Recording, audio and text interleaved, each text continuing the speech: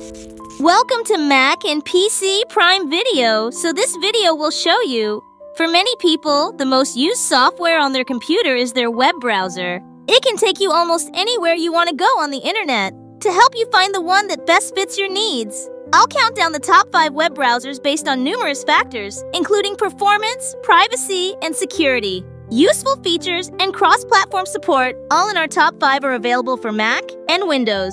Let's get started. Starting off our countdown at number 1 is the privacy-focused Brave web browser. It's open source browsers based on Chromium, giving you the ability to add extensions from the Chrome Web Store for added flexibility. By default, it blocks third party trackers and ads on all websites, allowing web pages to load faster with less distractions. But you'll still see some ads that are from Brave's ad platform. Brave also blocks those creepy cross site cookies that follow you from site to site. When you open Brave, you'll notice it has a nice looking interface on their new tab page in the upper left corner. It shows you the number of trackers and ads it's blocked on the sites you visit, along with the bandwidth and time saved when you're on a site. See how many trackers and ads are being blocked. Click on the Brave shield to the right to the address bar. If you're on the site that you support and don't want trackers and ads blocked, you can click on the toggle to turn off blocking.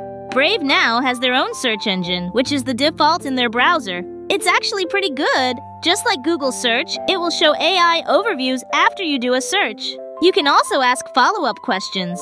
Just like other AI, you might get a stupid answer or it may be incorrect. Brave now has their own VPN. It's not bad, but for around $10 per month, there are better, less expensive VPNs out there that you can use. Up next, coming in at number two from the folks at Google is the Chrome browser. While it is the world's most used browser, it's far from being the best. It's been passed up by many of its competitors that offer more useful features built into their browsers. On a positive note, it's not the resource hog it used to be on lower end computers. Turning on their energy saver feature can help to make Chrome run more smoothly and just like the others coming up. It does have very good cross platform support to sync your bookmarks, passwords, and other stuff across multiple devices. Another nice thing I could say about Chrome is that because it does lack many of the useful features found in other browsers, there's less clutter, and when you open it up, it's visually appealing with rounded corners in the Chrome Web Store. There's more than 100,000 extensions available that can enhance the functionality of Chrome. These can also be used with all of the other Chromium-based browsers. I'll be showing you coming up. Speaking of extensions, at some point this year in 2025, Google will be rolling out what they call Manifest v3. This highly controversial decision by Google will limit what ad blocking extensions can actually block in Chrome, making them less effective. If you'd let me know your thoughts on this in the comments.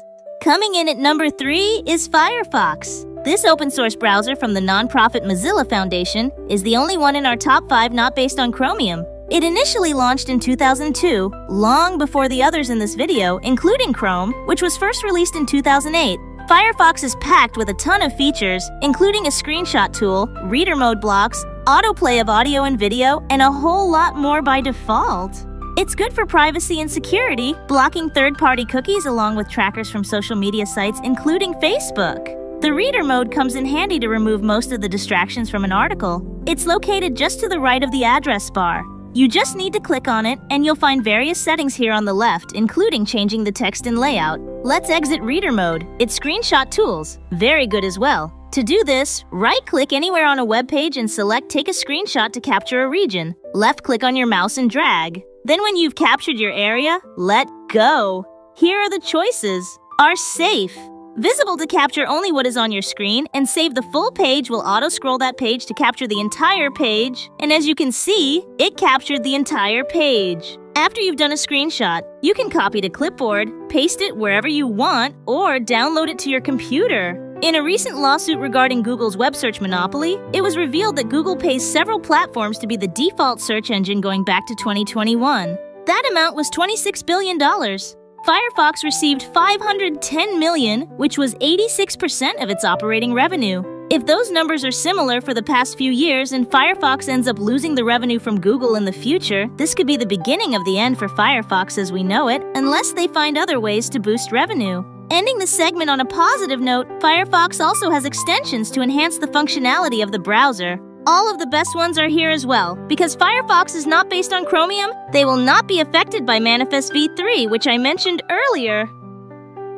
That will make some extensions obsolete before we get to our number 4. Here's a quick rundown of other browsers worth mentioning that might be of interest to you. For macOS only, Apple Safari is the absolute best built-in browser on a Mac to download other browsers that are much better than Safari. Arc browser is an experimental browser I reviewed in an earlier video on this channel. It's designed to be a cleaner, calmer alternative to other browsers. The Norwegian-based Chinese-owned Opera is still alive and kicking, albeit a shell of its former self. It has a ton of features, including ad blocking and a so-called VPN. It's available for all the major platforms, including Chromebook. Opera also has an interesting browser they call Opera GX, with features geared towards those that play video games. This one's available for Windows and Mac OS. And the last of our bonus picks is the Tor browser, available for Windows, Mac, and Linux. It's an open source, modified version of Firefox that uses the Tor network to anonymize web traffic and protect users' privacy online, typically on the dark web. In the runner up spot, coming in at number 5 is Vivaldi, based on Chromium. It's one of the best browsers for those of you focused on productivity. It was co founded by one of the co founders of Opera, if you missed the good old days of opera prior to its sale, Vivaldi is a good one to check out. It's packed with a ton of features, so I'll just highlight some of those in the various categories. For privacy and security, an ad blocker and tracker blocker are built in for productivity. Tab stacking and tab tiling are quite useful. There's also a reader view mode to get rid of the clutter on a web page for customization. There are themes to change the look at the browser, and they have interesting partnerships with Philips Hue and Razer that can give you a more immersive experience. And there's various tools built in, including an email client to manage multiple accounts, a calendar, a screenshot tool, and a whole lot more. When you launch Vivaldi, there's a handy speed dial, but locked your favorite Deus CDs at the top.